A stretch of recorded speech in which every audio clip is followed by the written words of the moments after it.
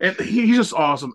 I'm sure you saw he had that match out of retirement yes, recently. Yes. How cool is that that he got to have it that? was so, so I was like I said, uh I I was booked as an extra maybe two weeks after. So rewind just a little bit, probably three three or four weeks before, literally the week before it was announced.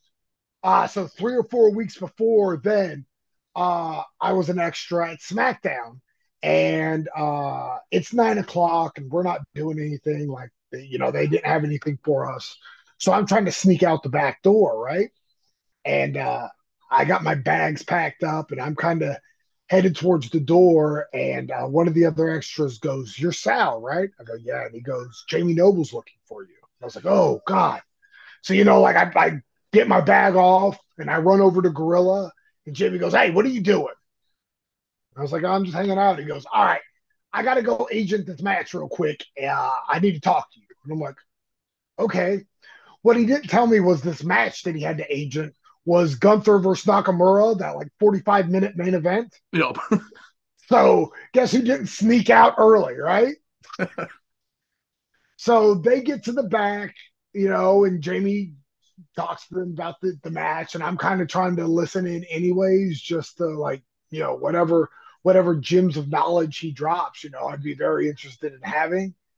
Uh, and then as soon as it's done, he goes, Hey, walk with me. I was like, All right. So I go, What's up, man? He goes, Man, I just haven't seen you forever. We need to hang out more often. You want to hang out with me? And I'm like, Of course I do. And so we spent probably an hour and a half, two hours just catching up. Uh, and he told me in that time, he was like, Yeah, I'm training. I think they're going to let me have one more. I was like, oh, that'd be so cool. But he didn't even have all the details yet. Uh, so when like, so when it was announced that like he was getting to do it in his hometown and like it was a main event with like the bloodline, I was just like, oh, that's super cool. So then, you know, fast forward to afterwards, uh, the, the Tampa show I was booked for, you know, I, you know, dude, Jamie, that was awesome. He goes, yeah, boy, it was real awesome. It was so awesome. I probably should have just beat Roman that night. I'm gonna pitch it.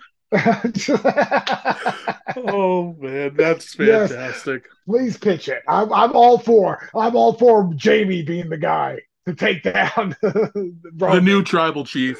Yeah, sorry, sorry, Cody. I know you're over and moving merch and all that stuff, but come on, Jamie by God Noble. That's awesome.